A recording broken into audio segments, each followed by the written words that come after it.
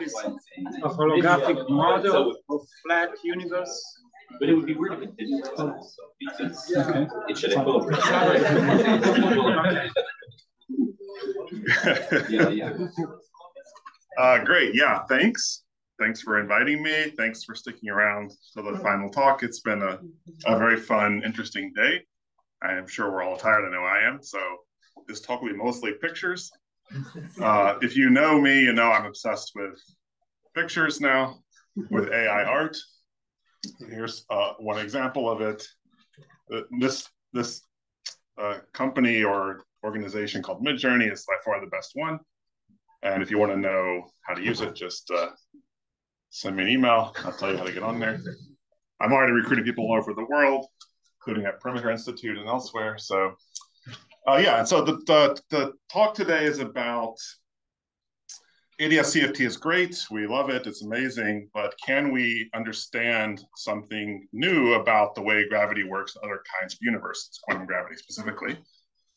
And what I'm going to be interested in here is a sort of scenario. Of course, I don't have a fully microscopic definition yet or any particular example, but we have a scenario um, which could potentially describe the way quantum gravity works in a universe like the one we see in the sky. Okay, so that universe is filled with stuff. Here's all the interesting stuff. It's homogeneous. It looks nothing like ADS space. We call that homogeneous. Yeah. If you this is this is 100 megaparsecs, so if you go longer than that, then uh, it's pretty uniform. Okay. So I, I just flashed this uh, just say I want to just acknowledge my very excellent collaborators. So Stefano Antonini is my student. He's graduating going to Berkeley uh, in the fall.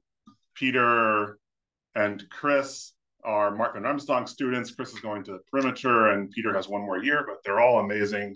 I definitely encourage you to invite them to give talks. And uh, yeah, Mark is like my my colleague uh, on this stuff, and we've been thinking about this for a long time since at least a paper in 2018. Um, and I'm going to tell you just one version of the story today. Uh, but there's lots of different aspects and lots of different relationships. So yeah, and, and the main point will be this is a this is going to be a theory or a scenario for the large scale structure of the universe in which we have fundamentally a negative cosmological constant. So not positive, but negative. Um, nevertheless, we'll be able to get acceleration. And um, there'll be some sort of non-perturbative microscopic theory in special states. Now, again, I'm, I'm going to emphasize I don't have a precise string theory construction of this. Maybe it just doesn't work. I don't know. But we have kind of the framework of what such a such a theory should look like. Okay, and that's the idea. So just remind you here, um, ADS CFT again is great. It's combining quantum information with holography has taught us a great deal about space-time, gravity, black holes. I like to say, you know, it's often said there's this tension between quantum mechanics and general relativity, but somehow here they're not in tension, but actually like best friends. Like one is essential for the other.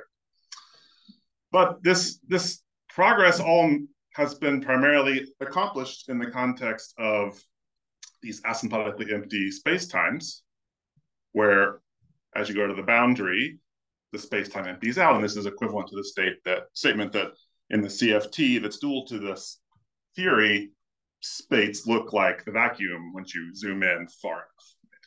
Okay, so a question you can ask is, can we get something like a realistic cosmology using these kind of quantum information ingredients? And I want to emphasize that it, it may be the case that you can do this you know, with something that really is quite different from ADS CFT. We'll see here that we're going to be a little bit different or a sort of complicated version of it. But we will still have the power of ADS CFT somewhere lurking in a in an analytic continuation of our universe. Um, but you know, I'm not wedded to this idea. It's just what we're exploring right now. Okay. So here's a cosmology, my very crude uh, picture. And by the way, contrary to what you're told about AI doom scenarios, making these arts has actually inspired me to take up my own drawing again. and so I challenge you to try to figure out which one are made by me, which are the pictures made by the AI. I'm pretty sure about this one. Yeah, yeah. so uh, we started out in uh, a hot state of the universe, a hot Big Bang, universe expanded, and according to the sort of concordance model lambda CDM, we're currently entered a phase where we're dark energy dominated with some positive cosmological constant. And this is going to cause the universe to accelerate and expand forever. So up here, there's galaxies, and we're in one of these galaxies, and the universe is going to keep expanding forever and ever and ever. Okay, that's great. It's a beautiful model that fits a lot of data. But we know microscopically there are still challenges here. You know, constructing string theory vacua where you have this kind of positive cosmological constant is a there are lots of attempts and uh, a very controversial literature. Even if you have such a construction, these things are often like metastable states. So in an infinite universe that's expanding forever, these states could decay, and it's really not clear, you know, what would be the quantum mechanical description of this infinite series of decays in this infinite universe. I'm not saying it's impossible. I'm just saying I don't know, and I don't think we know as a species at present. That's on the theory side. Of course, there are also now these famous observational issues like the Hubble tension. And uh, so for both the sort of theory reasons and for the observational reasons, I think it's you know reasonable to take another look at this problem and ask whether a different kind of model, maybe a model with negative cosmological constant, could possibly explain the cosmological data set. And why negative cosmological constant? Well, again, we know a lot about ADS CFT, so maybe if we use some of that power, we can make a little bit more microscopic sense of it. So basic idea, let's just talk about ADS CFT for a second. We have our CFT state here in blue at the boundary. And this is supposed to be, assuming this state is a nice so-called geometrical state, it's equivalent to some geometry here in the bulk. And as I said, this geometry is asymptotically ADS, so it's asymptotically empty as you approach the boundary in some precise sense. However, if we think about just the effective field theory in the bulk here, this effective field theory does have solutions that are cosmological, FRW universe, in which the universe is homogeneous and you're not asymptotic to ADS. So there's no ADS, it's just a universe like our own, very, very roughly. And here's a simple example of that. I've chosen a flat cross section. There's some radiation in the universe, and there's a negative cosmological constant. And you can solve the Friedmann equations in this case straightforwardly. There's a nice analytical solution. And uh, the picture of the space-time is like this. You have now a big bang. You also have a big crunch. The universe expands for a while, and then reaches a maximum size and recollapses. And moreover, it's time symmetric, like so. And one thing that you can show straightforwardly is that with these ingredients, you will not be able to get acceleration. So it can expand and then recollapse, but it's not going to accelerate into expansion. Okay, but still, you know, this is like a toy model of a Big Bang, Big Crunch universe. We can ask, like, is there some way to understand microscopically what's going on? And actually, there, you know, there was an old idea that we'll kind of build off of. And the observation is that if you complexify time, then this geometry now has an ADS portion. In fact, has two ADS asymptopia, one here and one here. We start from the center, we change t to i tau, and now in this complexified Euclidean geometry, we have a Euclidean ADS wormhole between two ADS asymptopias. So now it suggests that this Euclidean wormhole could have some sort of meaning or definition in terms of some kind of coupled pair of CFTs. Not completely clear exactly what sort of coupling they have. Is it a dynamical coupling or a statistical coupling? But this is the kind of thing that we're more familiar with now in the recent literature. And so maybe there's a way to make sense of this wormhole macroscopically. And then we would say that the cosmology is actually like you make a state here and you do some analytic continuation, and that defines a special state for your cosmological universe. Okay, so this is the idea we want to pursue. Yeah, Andy. That's not a Penrose diagram, right? I mean, before you complexify. No, no, I'm just drawing like this is like a. I'm just drawing the size of an interval. It's just the size of the yeah. Yeah, it's not a Penrose. Penrose diagram, there's no, there's no asymptotic region that isn't singular, right? There's no asymptotic region. Yeah, it's a big crunch. Yeah, yeah, it's a big crunch. And it's totally homogeneous. Okay. So I want to just tell you two quick uh, stories, and then, yes, please. I just had a general question. Uh, do you expect there to exist a holographic dual for a cosmological, any AFT solution? Any solution for AFT? The acceleration parameter, is there? I recently heard that apparently you can't have an, if a of t goes like t to the p, where p is greater than one or something, that's some constraint that you don't have. Oh. Do Um, there's some weird constraint like Uh, that? I, I have no reason to think that like any a of t you could write down for some random bulk effective field theory would be a would give you some valid UV complete theory. Sure. So at that level, no, I don't know what uh, the TFP business is about. You're talking about the Harvard people? Yeah, there's no good reason to believe that. Okay. From from a Daniel, there's no good reason to believe that. Okay, so two quick stories. One is can we incorporate acceleration, accelerated expansion into this story? And the answer will be yes, at least the level of the effective field theory in the bulk. And part two will be, which actually came first in the papers I flashed up there earlier, is thinking a little bit about what the microscopic meaning of this structure could be, and maybe what some of the consequences of that structure would have for the cosmological physics. So first, let's talk about accelerated expansion. And so the starting point is to say that, well, we have this nice universe that's expanding and contracting. And uh, we can, with all the same symmetries, include time-dependent scalar fields. That's just something that's totally allowed at the level of effective field theory. So we might as well have some time-varying scalar fields from the point of view of symmetry.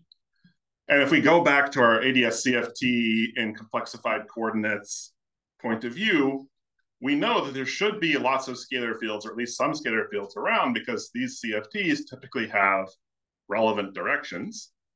And so we have some scalar field phi, let's say, that is associated with one of these relevant directions. And what that means is that this scalar field, well, first of all, it should have for its potential energy here some negative extremum. That would be the, let's say phi equals zero, that would be the uh, ADS solution there. And then mass squared should be negative because it's relevant. And then let's just postulate some fairly generic potential. Once you turn on the scalar field by some finite amount, you would expect the energy to eventually go up again. So this is a fairly generic sort of cartoon of a potential that you might have in ADS CFT. And what I want to try to convince you is that such potential like this can, within that wormhole situation we were discussing, generically give rise to a possibly short, but nevertheless present period of accelerated expansion. So here's the argument. Let's think about what we have. So I said phi equals zero is like this boundary, ADS boundary here, right? You have negative cosmological constant. Just think of this as the potential energy, including the cosmological constant. So it's negative here. That's our ADS extremum. And what we're going to do is we're going to imagine solving the scalar equation of motion. So start from the boundary, solve inwards to this midpoint in the Euclidean wormhole.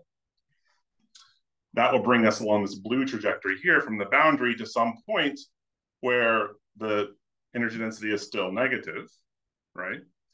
And now we could just keep evolving, would go back out, and we'd reach the other asymptotic boundary. That's one possibility.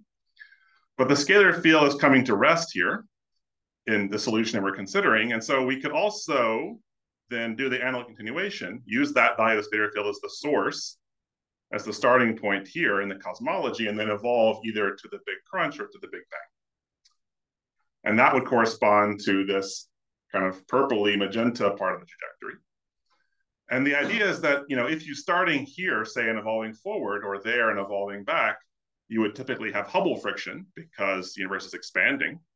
But if we evolve from the midpoint and go to the Big Bang or the Big Crunch, we have Hubble anti-friction just because the universe is contracting. And so it's very natural that the scalar field is actually going to rise above its initial potential energy because of this anti-friction, and it could potentially reach a region of the potential which is positive, like so. And if it were also the case that it reached this region of positive potential moving slowly enough, then it could be that the energy of the scalar field is potential energy dominated, and then you would have the ingredients you would need for some accelerated expansion. And so the, the claim here is not that every potential does this, but that first of all, these negative mass squared scalars have kind of the roughly right ingredients to have this physics, and that if you did have it for some particular potential, it would be generic. So if you change the potential parameters a little bit, or change the initial condition of the scalar field at the center of the universe a little bit, you could find another solution nearby where you still have a period of acceleration. So in other words, this is like a generic new mechanism or difference mechanism for generating acceleration, where it's coming from these time-dependent scalar fields that naturally arise in uh, ADS CFT when the CFT has relevance directions. Okay, so let me just show like you can just pick a potential. I don't claim it's a particularly physical one. It's sort of exponential potential.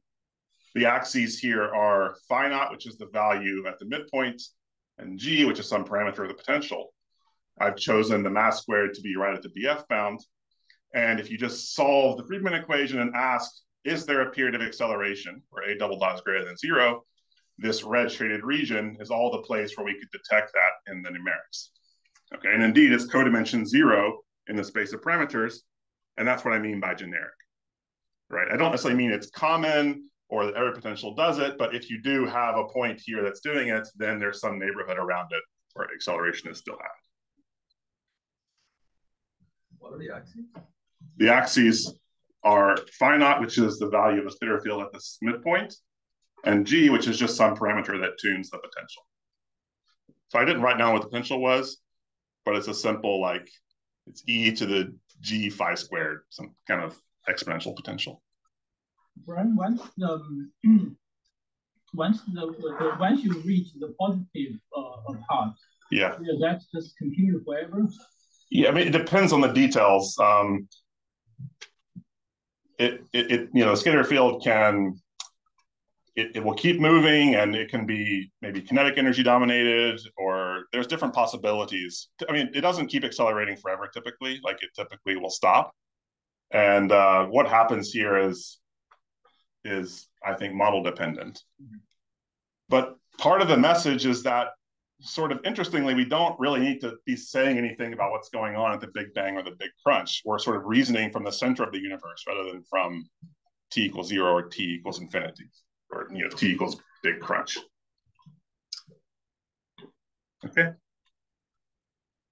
So the claim is that if you had this kind of setup for a generic CFT with relevant perturbations, you would expect generically to have this accelerated period. And then we showed in one of the papers, not surprisingly, if you sort of fine tune the potential, you can match, say, the scale factor of lambda CDM to sort of whatever degree you like, more or less, right? While being consistent with the wormhole solution. Those potentials might be bad for various reasons. They might be in swampland. I don't know. That's harder question. But at least the tunability is there at the effective field theory level. Okay, so now let me comment on um, what the microscopic meaning of this wormhole could be.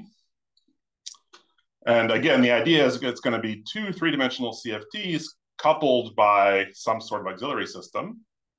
And uh, the cosmology is going to be dual to a special state in this auxiliary system. Let's see how that works. So here's the picture I want to have in mind, Euclidean picture. Everything's Euclidean. This is a R3 that goes on forever up and down and out of the page and in some other direction.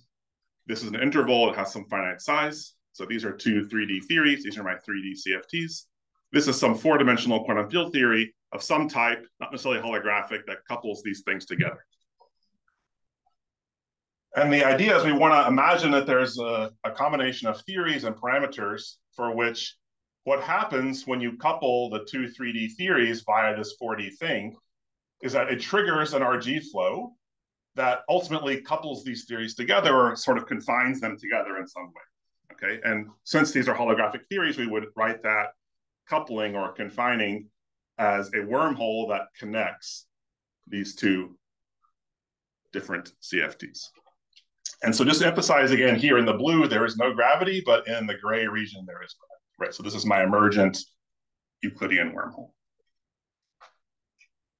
Okay, so suppose we had such a picture, then what would be the interpretation of our cosmology?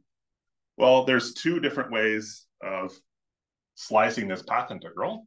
And here I'm using my cosmology color pen in uh, PowerPoint. So one of them is if I slice kind of along the long way, parallel to the three-dimensional degrees of freedom. So this, when I open the path integral up, only exposes four-dimensional degrees of freedom. No three-dimensional degrees of freedom are touched by this slice. So this is really a state in the Hilbert space of the 4D theory on R3, right? And I claim that if you just look at the, like you imagine this slice going down, this is also cutting the wormhole. And the place it's cutting the wormhole is right at this midpoint in time. So this is like saying there's a state of this 4D theory, a special excited state. Why is it excited? Well, I have some kind of boundary here, and then I'm evolving for a finite amount of Euclidean time. So it's not infinite time. It's not a ground state. It's an excited state. And it's an excited state of this 4D theory that is sort of entangled with this cosmological universe. So this would be like a sort of version or realization of the islands and cosmology story. And um, so this cosmology is actually not coupled directly to this 4D theory, but it's just a representation of this special highly entangled state that you have. Sorry, Brian, yeah. in the right figure, between the two is Euclidean time, or, or what is that direction? Yeah, this is Euclidean, this is Euclidean, Euclidean. and then I'm going to continue it to real time. Right, so it's like a, you know, roughly it's like a bell pair or a bunch of bell pairs I'm making between the universe, the cosmology universe here, and my my 4D theory here. Brian, is there supposed to be a space time in between this line, this sheet, and that sheet, or is those are just different? No, I mean there's a different version of the story where the 4D theory is also holographic. Uh-huh. Then you can fill this in, uh-huh. and this is like an end of the world brane. Okay. Yeah, so that's like a special version of this. Yeah, but yeah, it's it's useful to think about that that uh, special case uh-huh. um, for various reasons. Yeah. That's where we started actually was thinking about this doubly holographic setup. Okay. But it's interesting in this, uh, I think it's interesting that there's also an alternative slicing where now I slice in a way that cuts open the 3D degrees of freedom as well as the 4D. So if I slice it in this way, I have these two 3D systems exposed now, and now the 4D theory not on R3, but on an interval times R2. And if I kind of draw this analogous thing here, it's like cutting the wormhole this way. And then because this is an infinitely extended direction, this is actually dual to a ground state of this 4D, 3D, 3D coupled thing, right? We have the two edges and this 4D thing, and it's some sort of coupled ground state of these, these three theories. And we actually know what this looks like. And in fact, it's a, it's a wormhole. It's a Lorentzian wormhole, which is traversable and eternal. So you can go back and forth between the two sides sort of as much as you like. And it's really a ground state. So this traversal wormhole is like describing the ground state of this coupled, this coupled things. Okay, and this is why we called in one of the papers uh, was was called cosmology from the vacuum because essentially we have a vacuum state here which via this somewhat complicated series of continuations is secretly encoding the observables of a, of a cosmology. Okay, so great, that's the idea. That's the framework. Again, there's no concrete theory which does all these things at present. Of course, we're thinking about that. But suppose this were a roughly correct picture of the universe, what, would this us? And um, well, one thing is that it, it offers new perspectives on cosmological puzzles. And I want to be very careful here. I'm not claiming to solve any problems yet. Like Leonardo, I have grand ambitions, but uh, but we're not there yet. But what what could we hope to address? So you know, what one puzzle that people sometimes talk about is uh, this question of why is dark matter and dark energy of roughly the same size at present in our universe? And um, from the point of view we're discussing here, there is a sort of different explanation of this, which is that at the midpoint of the universe, assuming you only have matter and your cosmological constant, the, the midpoint condition just tells you these things have to match up. Okay, and so then for a lot of the lifetime of the universe, they're going to naturally be of roughly the same order, just because that's where you know they're starting equal and they're not evolving too much. And so it's actually pretty reasonable for them you know, to be roughly the same size for most of the time. And maybe that's where we see ourselves is in some most of the time part of the universe. Uh, another interesting point is, okay, there's a very famous issue of horizon puzzle, right? How do we see correlations on the sky between regions that were seemingly out of causal contact? Yeah, Andy. See, in your first bullet, of course, it gets the uh, astronomical evidence, which might be wrong, is is or misleading is that it spans forever and we're not at a turning point. But let's suppose that we were at a turning point. Are are you trading it for another problem? Is why are we now exactly at the turning point of the universe? Uh, good. I'm, I'm not saying we're exactly there. I'm just saying that at that point they're equal. And for most of the lifetime of the universe, by some measure, they're kind of close to each other, like within a factor of 10. Because when you're not, you crunch. Right, because when you're not, you you know, so as long as A is, you know, yeah, yeah. We're not like having to fine tune things at the Big Bang to arrange it so that, you know, when the universe is much, much larger, they happen to be exactly the same. So it's a it's I think it's a better I think it's better than than well than yeah than the equivalent puzzle and a winning trade. Yeah, it's a winning trade. Except for the part where we all die. Well, but it's it's We'll just it's far enough in the future. So yeah. yeah, we just uh yeah, there's lots of ways out of this. You just need to put eyes in the right place. Um I'll just comment there's a forthcoming we sort of pointed this out in one of our papers, but there's a forthcoming new work by a subset of the authors, Mark and Chris, in which they sort of observed that if you're just trying to fit supernova data and you allow yourself to say consider a linear potential, that it's really not ruled out to have a scalar field that's varying by a significant amount. And sort of the reasons roughly because we don't have very good direct observational evidence about how much matter is in the universe. And so for this reason, it turns out there's like a lot of freedom in fitting this data. And so you really need to invoke CMB to say something stronger. But just from the sort of the scale factor measurements in the recent history, um, it would be compatible with models where we, we've actually already started to stop accelerating. Okay, so maybe we're already on our way to the to the crunch. I mean, to be clear though, this is like you uh, are you saying? I, I, would have guessed that you can't explain the CMB this way. Is that wrong, or can you? Or? Uh, it's not clear. I mean, actually, you can get structure. I think or this is something we're working on. You, you can get peaks and so forth. I'm not saying you can get the peaks that match the peaks that they see in the sky yet, but getting peaks is not necessarily a problem. Mm-hmm. And in, in terms of this horizon thing, which is what I was mentioning, you know, there is now sort of alternative reason why you could have long range correlations because there's secretly this ground states description of your system. And as we know very well, ground states can have long range correlations because they've kind of been evolved for infinite imaginary time. So again, want to be very careful. I'm not claiming that we've solved this issue in a new way, but there's potential for something for a new perspective. Maybe it's complementary to inflation. Maybe it's an alternative to inflation. I don't know, but it, there seems to be room for something interesting.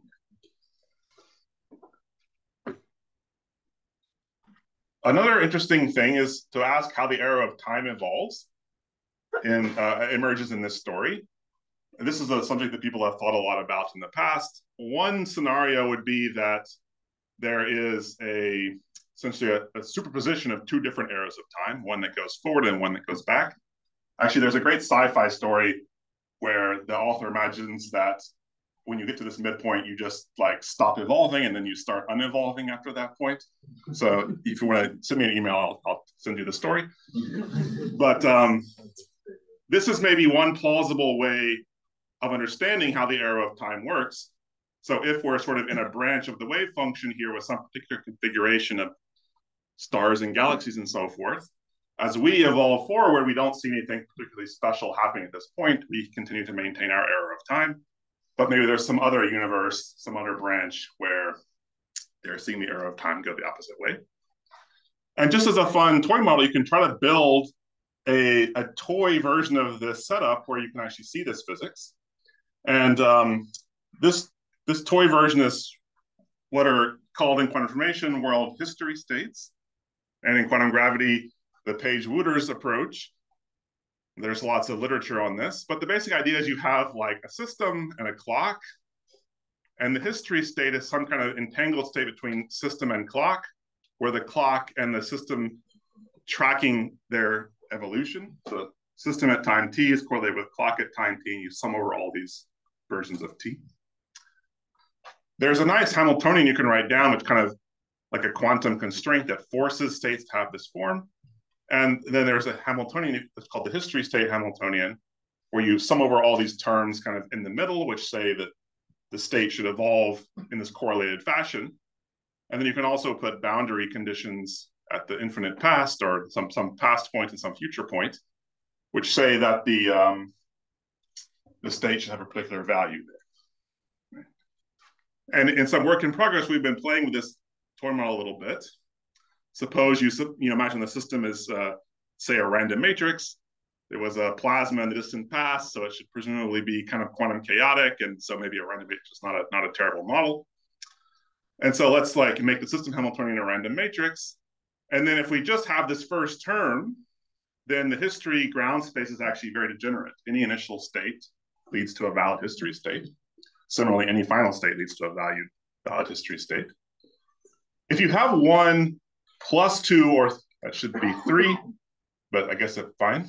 One plus two or three.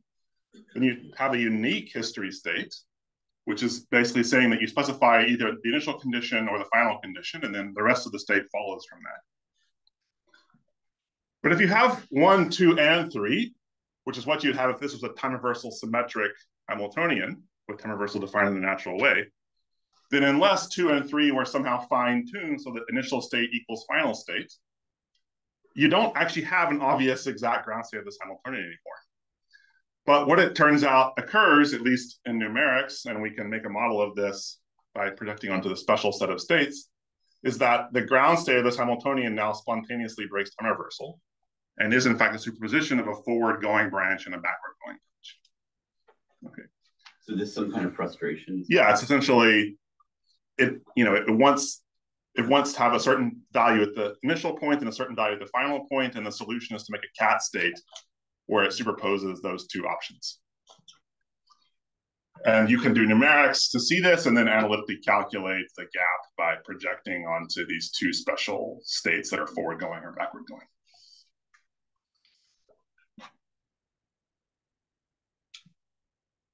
Okay, let me make another comment. Um, about enhanced negative energy. This is a wormhole. You can see that the background of space is different here. So you're going to a, a different star, some kind of three planet system. I don't know. This is very interesting. Um, if we're, you know, in this Lorentzian wormhole picture, the vacuum slicing, we need a large amount of negative energy to support the traversable wormhole. And you could ask, you know, is that feasible? Is that something that quantum field theory can do for you? Um, it's not obvious that it is possible. Uh, Mark and Peter and Alex May wrote a nice holographic version of this setup where they could show that you could actually generate very large amounts of negative energy in this bottom up holographic model. And then Mark and I wanted to know, well, what about like a UV complete quantum field theory that we understand everything about, like Dirac fermions? Could we also generate large amounts of negative energy there? And in a paper that we posted uh, late last year, we sort of argued that the answer is actually yes. You can find states of a Dirac fermion in three plus one dimensions, valid continuum quantum field theory states, as far as we could tell, where the energy density on a strip of some characteristic size is first of all uniform and can be arbitrarily negative compared to the vacuum energy in Minkowski space. The infinite strip? It's infinite strip this way, but has a finite length this way.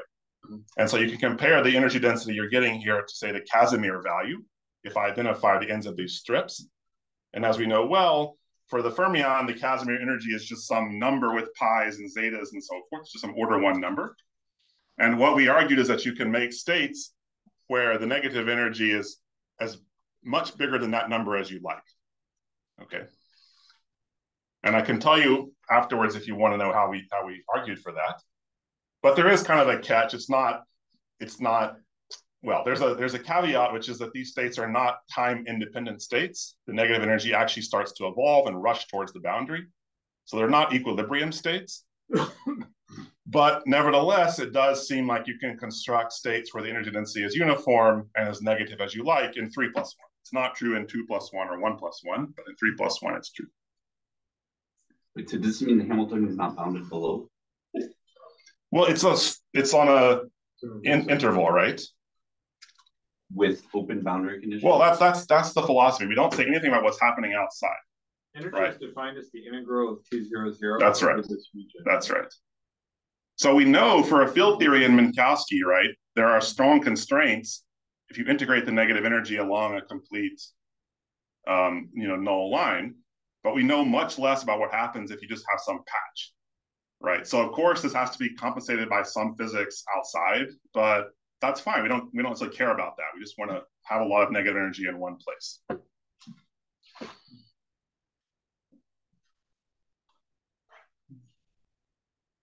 Okay. And I want to wrap up with one more. Oh, there's another picture. You drew that one. Yeah, this is me. Um, this is the place you can go if you have a large amounts of negative energy. Um, one of the places. Um, so let me just like throw out one more wild idea, which is this idea of extended quantum church Turing thesis. What is this about? Well, what's the church Turing thesis? It says roughly that any physical model of computation can be simulated by a Turing machine, right? That we, at least I think, is probably true. Don't think we know a counterexample. Importantly, we're not asking for efficiency there. So it can simulate quantum mechanics because it just takes exponentially long time to do it. No problem. The extended means you ask it to be efficient. So extended without quantum, we think is wrong because quantum computers exist. So a classical Turing machine can't efficiently simulate a quantum Turing machine. And so extended church Turing thesis is wrong. The quantum extended church Turing thesis says, well, maybe a quantum Turing machine can efficiently simulate any other physical process. Right, that's the idea. Um, you know, that seems fairly plausible, I would say, but it, I think it is a physics question. And in particular, from the point of view of what I told you here, there's there's kind of an issue, which is that I said that the cosmology was dual to this particular special state that I obtained by Euclidean evolution. And it's it's far from obvious that this state is a state that you can prepare efficiently. It, it's something you get by Euclidean time evolution, not real-time evolution. And Euclidean time evolution is actually not something that's easy to implement using unitary operations typically. And even if you had this state, it's not really clear how you figure out what the observable physics in the cosmology is. And it's not clear if that, that's something you can do efficiently, right? So maybe from this point of view, if this really was the microscopic description of our universe, it might be that you actually can't make this state or probe this state in an interesting way efficiently. And so maybe it would violate this about extended. using Monte Carlo? Yeah, well, but maybe it has a sign problem. Okay. People also consider these kind of states in the context of tensor networks. They were called METTS, multi, um, minimally entangled typical thermal states. Uh, they use them to do thermal physics using tensor networks in 1D. but actually they can be very highly entangled, especially in higher dimensions. And so it's really actually very unclear what's going on here. And actually, if you do the doubly holographic version of what I was telling you, these states are microstates of a black hole, and the cosmology lives behind the horizon on some end of the world brane. And so there's really, it's really unclear whether you can actually read off that physics or even make that state in an efficient way. Let me have some argument for why church Turing has to be violated inside of black hole horizons. Yeah, and then he says it's fine. Yeah, he went back and forth a few times. I don't know what the current status is. Yeah, I don't know what the current status is. I mean, I, I think a possible way out here is that you know we live here, not there. So maybe for That's the way out of Lenny's thing. Lenny's thing requires you to like upload your brain into the quantum. right, right, right. So you know, if Um, you do that here, then uh, Yeah, yeah. So you know, we live here. Maybe we can sort of describe physics here efficiently using a quantum procedure. I don't know. Another possible way out is this this alternative ground state picture. Ground states are often much easier to prepare than these kind of weird thermal pure states. And so maybe from the ground state point of view, it's easier to figure out what's going on in the cosmology. And we actually wrote a paper about extracting, say, the scale factor from measurements in this boundary measurements in this ground state setting.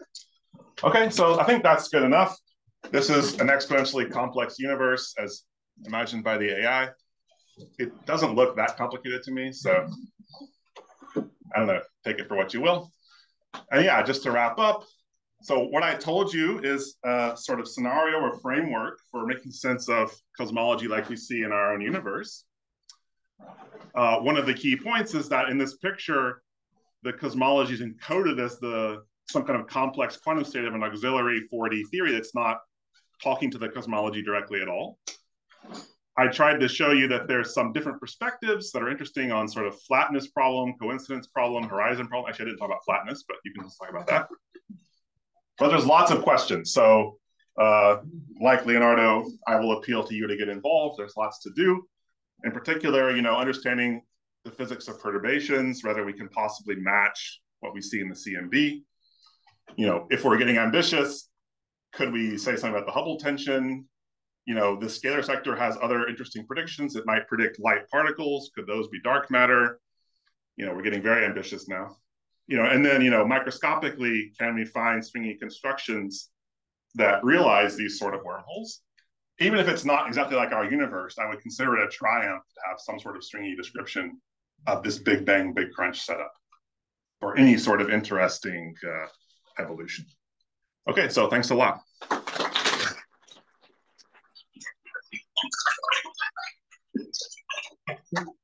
Questions? It's dinner time. Okay. No questions? Everything good? Okay. Great. Let, let's thank the Heinz.